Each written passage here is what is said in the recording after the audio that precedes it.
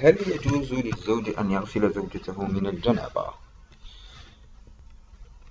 الحمد لله والصلاة والسلام على رسول الله وعلى آله وصحبه ومن والاه. أما بعد فقد أجمع أهل العلم على أنه ليس أي جزء من بدن الزوج عورة للزوج وكذلك أي جزء من بدنه لها وأنه يحل لكل واحد منهما النظر إلى جميع جسم الآخر ومسه حتى الفرج لأن وطأها مباح فيكون نظر كل منهما إلى أي جزء من أجزاء الآخر مباحا.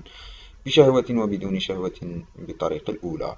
واتفق الفقهاء على أنه يجوز للزوج مس فرج زوجته والأصل فيه قوله تعالى والذين هم لفروجهم حافظون إلا على أزواجهم أو ما ملكت أيمانهم فإنهم غير ملومين.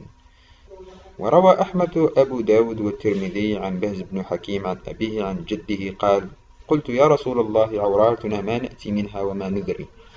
قال احفظ عورتك إلا من زوجتك أو ما ملكت يمينك ولأن الفرج محل الاستمتاع فجاز النظر إليه كبقية البدن.